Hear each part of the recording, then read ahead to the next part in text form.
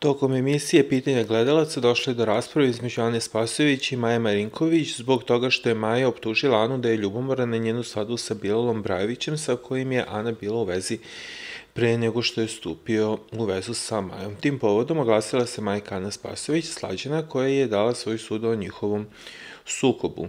Ma šta da kažem za Maju više, ona je umislila da su svi ljubomorni na nju i da je neko i nešto u realitiju, a koliko je kompleksi rade da i ne vidi čak da je svi smijavili sa strane i svi glume da su ljubomorni na nju, da bi ona pravila haos Bilalu i ljubomorisala njemu. Ona svojim glupostima pravi gledanost, a to da Bilal gleda Anu sa puno ljubavi je tačno. Čekam to iznenađenje za svadbu od Ane, bit će to ludo.